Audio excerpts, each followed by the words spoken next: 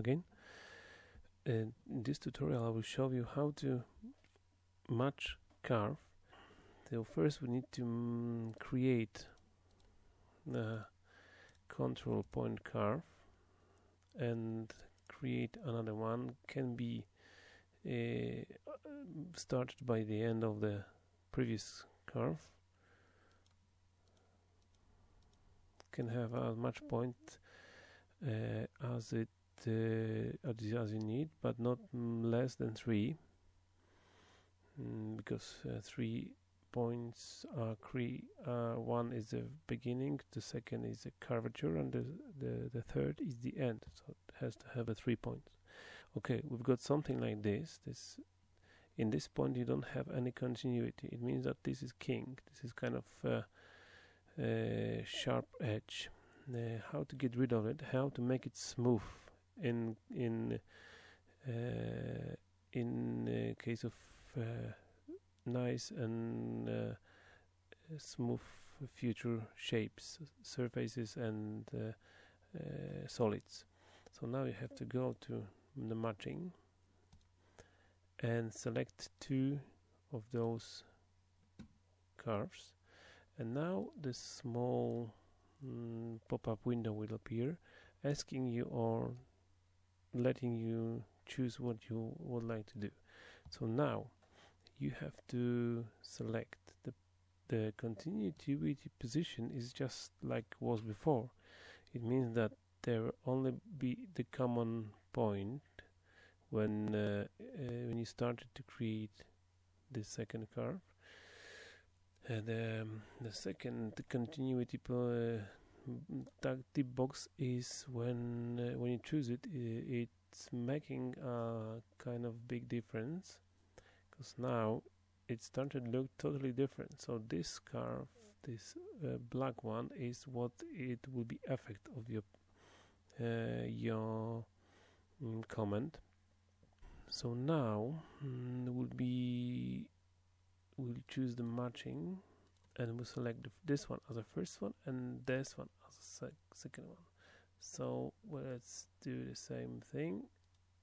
So on the tangents as you can see that one the second one you choose is is matched by continuity to the first second one.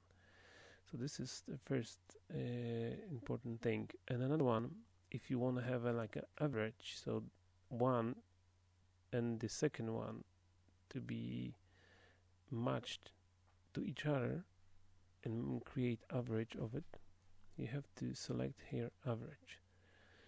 And uh, of course you can have the have this uh, all curves join at the end. I don't usually do it. I can join by selecting join here uh, and and it works the same.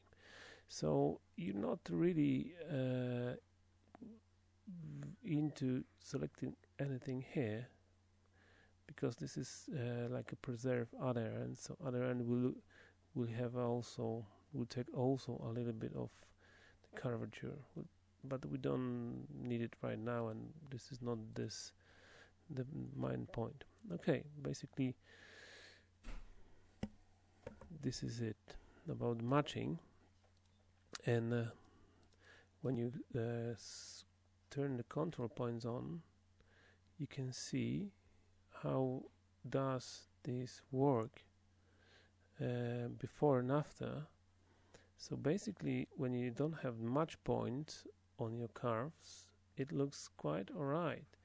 But uh, if we now uh, do kind of uh, the same curves and then try to try to do matching you will see how how it's gonna look. So let's create a mat create something um, very similar to that curve but we'll give some more points.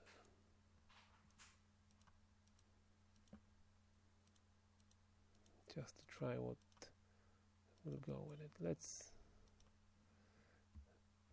let's say this is the same thing we've got more points but we basically have to do something like to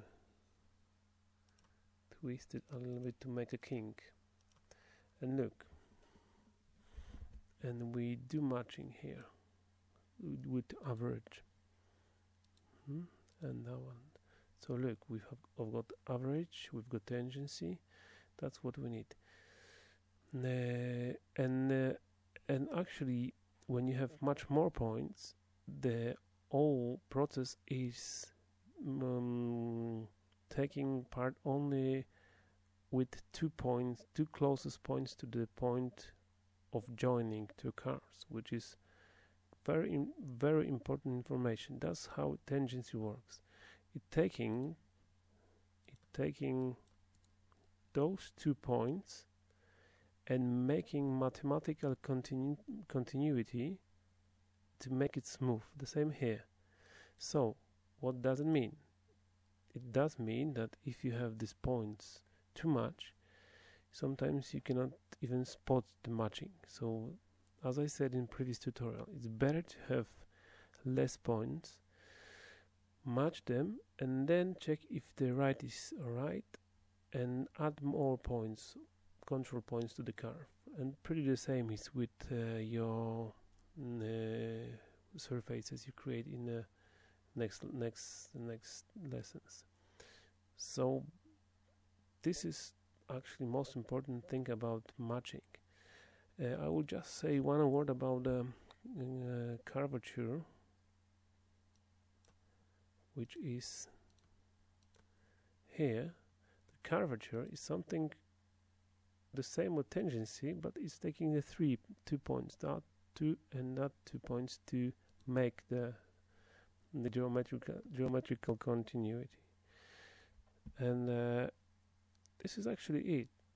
It's not difficult to make tangency by yourself which you're not able to do it with curvature because curvature is more complicated uh, uh, mathematical mathematics.